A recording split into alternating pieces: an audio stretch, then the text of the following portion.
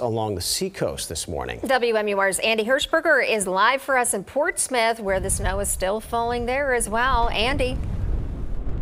Well, good morning, everyone. Yeah, we're here in Portsmouth, and it is a little bit windy, but it's not, you know, the kind of wind that knocks you over, turn your umbrella upside down. It's really not that kind of, of wind. What you're, what it is is cold. The, the the wind is making it feel a little bit colder than it is out here right now. You look at the the snow, and you may see some going in front of your screen there. It does look like it's falling sideways, but we're right here uh, on the river. Uh, looking over towards Maine. And yeah, like I said, it is cold, but, but the plows are out and there is some drifting going on. But uh, we just saw two plows, one going one way into Portsmouth, the other one going the other way toward Maine. So uh, heading in both directions. We saw them uh, on the roads this morning, taking care of what uh, you know what snow had fallen overnight.